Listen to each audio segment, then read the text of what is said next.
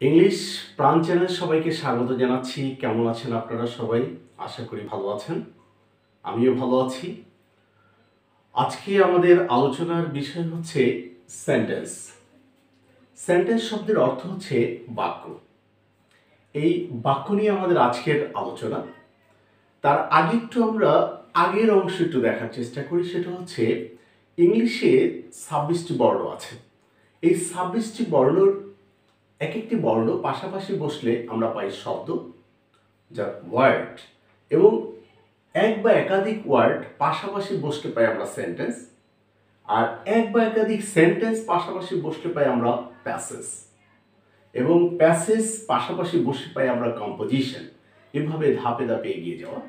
আজকে আমরা যে আলোচনা করছি সেটা হচ্ছে সেন্টেন্স সেন্টেন্স না জানলে গ্রামারের আমরা কোনো টপিক্সই ভালোভাবে আয়ত্ত করতে পারব না। ইংলিশটাকে যদি গ্রামারটাকে ভালোভাবে আয়ত্ত করতে হয় সেন্টেন্স সম্পর্কে অবশ্যই ভালো ধারণা থাকা দরকার। সেন্টেন্স কাকে বলে? আগের অনেক বই আমরা দেখেছি, দুই বা ততোধিক ওয়ার্ড পাশাপাশি বসলে যদি কোনো অর্থ বা মনের ভাব প্রকাশ করে, তাকে সেন্টেন্স বলে। কিন্তু এখন আমরা বলব, শুধুমাত্র সেন্টেন্সের দুই বা ততোধিক ওয়ার্ড হলে দরকার নেই। এখানে একটি ওয়ার্ডও কখনো কখনো সেন্টেন্স হতে পারে।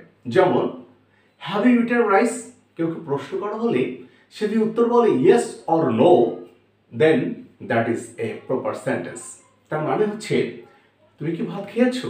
নো এই যে নো শব্দটিও একটি সেন্টেন্স তাহলে আমরা বলতে পারি, এক বা একাধিক ওয়ার্ড যদি মনের পরিপূর্ণ অর্থ প্রকাশ করে এবং অর্থবোধক কোনো ব্যাপার থাকে, তাহলে তাকে আমরা সেন্টেন্স বলব। কিন্তু যদি কেউ আমরা বলি, গরু আকাশে ওড়ে তাহলে আমরা অবশ্যই তাকে সেন্টেন্স বলতে পারি না। কারণ এটা হচ্ছে অসম্ভব একটা ব্যাপার। কারণ এই বাক্যটির মধ্যে কোনো প্রাণ নেই। যার কারণে আমরা এই বাক্যটিকে সেন্টেন্স বলতে পারব না। সেন্টেন্সটি অবশ্যই যুক্তিসঙ্গত হতে হবে এবং বাস্তব ধর্মীয় হতে হবে। আদারওয়াইজ তাকে আমরা সেন্টেন্স বলতে পারি না। আমরা প্রথমে আসব। সেন্টেন্সের কটা ভাগে আমরা ভাগ করতে পারি। সেন্টেন্সকে পার্ট হিসেবে যদি আমরা ভাগ করি আমরা দুটি অংশে ভাগ করতে পারি। একটা হচ্ছে সাবজেক্ট আর একটা হচ্ছে প্রেডিকেট আমি আবার বলছি সেন্টেন্সকে দুটি অংশে ভাগ করা হয়। নাম্বার এক সাবজেক্ট দ্বিতীয়টি হচ্ছে প্রেডিকেট এখন আমরা জানব সাবজেক্ট কি।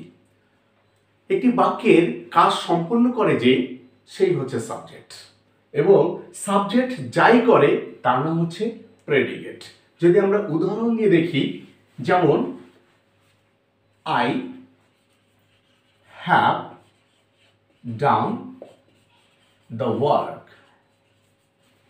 এখানে আমরা দেখতে পাচ্ছি I have done the work I হচ্ছে সাবজেক্ট আর বাকি এটা হচ্ছে প্রেডিকেট তাহলে অবশ্যই বুঝতে পেরেছি সাবজেক্ট কোনটি প্রেডিকেট কোনটি।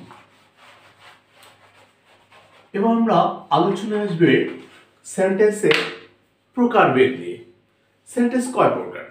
অনেকের অনেক ধরনের প্রশ্ন থাকতে পারে সেন্টেন্স কত প্রকার? অনেকে বলবে তিন প্রকার, অনেকে বলবে পাঁচ প্রকার। আসলে মূলত হচ্ছে সেন্টেন্সের দুইটা অংশ আছে, দুই ধরনের আছে। একটা হচ্ছে স্ট্রাকচারাল সেন্টেন্স একটা হচ্ছে কাইন্ড অফ সেন্টেন্স যাকে আমরা প্রকারভেদ অনুসারে সেন্টেন্সকে পাঁচ ভাগে ভাগ করা হয় এবং গঠনগত অনুসারে সেন্টেন্সকে তিন ভাগে ভাগ করা হয়।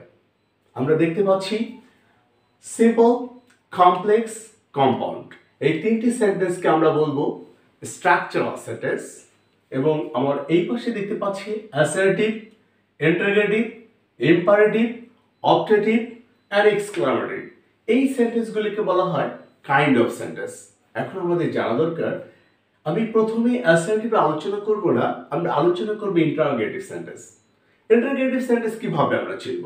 যদি এই সেন্টেন্সে কোনো বাক্যে আমরা প্রশ্নবোধকের কোনো কিছু দেখতে পাই, তাহলে আমরা নির্দ্বিধা বলতে পারি। এই বাক্যটি হচ্ছে ইন্টারগেটিভ সেন্টেন্স এবং বাক্যের শুরুতে থাকবে অক্সিলারি ভার্ব অথবা ডাব্লিউএস ওয়ার্ড এক্সাম্পল সময় বলতে পারি হ্যাভ ইউ ডান এই বাক্যটি অবশ্যই ইন্টারগেটিভ সেন্টেন্স। কেন? শুরুতে আছে আমরা দেখতে পাচ্ছি, অক্সিলারি ভার্ব হ্যাভ অথবা আরেকটি বাক্য লিখতে পারি হোয়াট ডু ইউ ওয়ান্ট এখানে ওয়ার্ড দিয়ে ব্যবহার করা হয়েছে, অতএব এটি হচ্ছে ইন্টারগেটিভ সেন্টেন্স শেষে একটা প্রশ্নবোধক চিহ্ন আছে।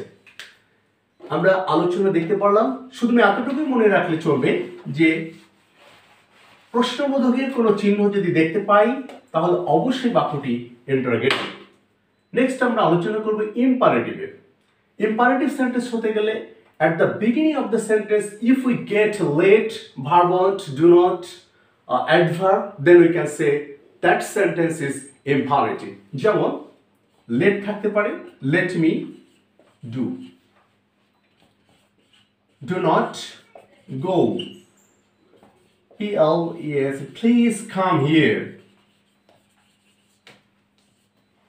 আমরা দেখতে পাচ্ছি এবং এখানে একটি ভার্ব দিয়ে শুরু করি GIV give me a fan আমরা চারটি বাক্য লিখেছি। অ্যাট দ্য বিগিনিং শুরুতেই আমরা দেখতে পাচ্ছি let do not please give তার মানে ইম্পারেটিভ সেন্টেন্স তাকেই বলে, শুরুতে ভার বন থাকলে, শুরুতে অ্যাডভার্ব থাকলে, শুরুতে ডু নট থাকলে, শুরুতে লেট থাকলে। ওই বাক্যটিকে ইম্পারেটিভ সেন্টেন্স বলা হয়। আমরা ইম্পারেটিভ সেন্টেন্স সম্পর্কে ধারণা নিলাম। ইম্পারেটিভ হচ্ছে সেই সেন্টেন্স যা আদেশ উপদেশ অনুরোধ প্রকাশ করছে। ইন্টারগেটিভ সেই সেন্টেন্স যা বাক্যে প্রশ্ন করা বোঝায়। এবার আমরা আসব অপটেটিভ সেন্টেন্সে অপটেটিভ সেন্টেন্স আসলে কি? অপটেটিভ সেন্টেন্স হচ্ছে ইচ্ছা প্রকাশ করে। অপারেটিভ সেন্টেন্স হচ্ছে ইচ্ছা প্রকাশ করে এবং প্রার্থনা বোঝায়। যেমন বাক্যের শুরুতে যদি আমরা মে বা লং দিতে পাই, এই দুটি শব্দ আমাদেরকে মাথায় রাখতে হবে। মে বা লং থাকলে বাক্যটি হচ্ছে অপটেটিভ ইন্টারগ্রেটিভের জন্য হচ্ছে এটা এবং অপটেটিভের জন্য এর আগে আমরা চারটা শব্দ দেখিয়েছিলাম যে শুরুতে যদি থাকে। এবং নেক্সট আমরা যে আলোচনাটি করব সেটা হচ্ছে এক্সক্লামেটিভ সেন্টেন্স এক্সক্লামেটিভ সেন্টেন্সের বাক্যের শেষে অবশ্যই বিশ্বাবোধক চিহ্ন থাকবে। তাহলে আমরা সেই বাক্যকে বলব? এক্সক্লামেটিভ সেন্টেন্স যেমন একটা এক্সাম্পল দেখতে পারি হাউ নাইস এখানে হাউ নাইস এই বাক্যটির শুরুতে ডাব্লিউএস ওয়ার্ড আছে, কিন্তু এখানে কোনো অক্সিলারি ভার্ব নাই। যদি বাক্যের শুধু হোয়াট বা হাউ থাকে এবং শেষে যদি বিশ্বাবোধক চিহ্ন থাকে, তাহলে নির্দ্বিধে আমরা বলব এই বাক্যটি হচ্ছে এক্সক্লামেটিভ সেন্টেন্স যদি বাক্যের শুরুতে মে বা লং থাকে, তাহলে ওই বাক্যটি বলব আমরা অপারেটিভ সেন্টেন্স যদি কোনো বাক্যের শুরু শেষে প্রশ্নবোধক চিহ্ন থাকে, তাকে বলব আমরা ইন্টারগ্রেটিভ সেন্টেন্স আর ইম্পারেটিভের জন্য চারটি ফর্ম বলেছি। আবারও বলছি লেট ডু নট অ্যাডভার্ব ভার্বন থাকলে। আমরা চারটি সেন্টেন্সের আলোচনা করেছি, বাকি রয়েছে একটি, যার নাম হচ্ছে অ্যাসারেটিভ এই চারটি সিমটম আমরা যেখানে দেখব না, সেই বাক্যের নাম হচ্ছে অ্যাসারেটিভ অ্যাসারেটিভ হচ্ছে বিবৃতিমূলক, বর্ণনামূলক বাক্য। তাহলে আমরা এতক্ষণ বুঝতে পারলাম যে পাঁচটি সেন্টেন্স এই পাঁচটি সেন্টেন্স হচ্ছে এক্সপ্রেশনাল সেন্টেন্স যাকে বলা হয় আমরা মনের ভাব প্রকাশ করার জন্য স্পিকিং পার্টে আমরা ব্যবহার করে থাকি। এবং সিম্পল কমপ্লেক্স কম্পাউন্ড এটা হচ্ছে রাইটিং পার্ট আমরা ব্যবহার করে থাকি। এই দুটার ব্যবহার আমরা কীভাবে করি সে সম্পর্কে আমরা জানলাম। আশা করি এই ভিডিওটি দেখে অবশ্যই গ্রামারের ক্ষেত্রে অবশ্যই হেল্পফুল হবে। এবং আমি প্রতি রবিবার সপ্তাহে একবার একটি ভিডিও সবার জন্য অবশ্যই তৈরি করার চেষ্টা করব। আর যদি ভালো লেগে থাকে, অবশ্যই কমেন্ট করতে ভুলবে না। এবং সবাই নিজেরা ভালো থাকবে, অন্যদের ভালো লাগবে। আল্লাহ হাফেজ।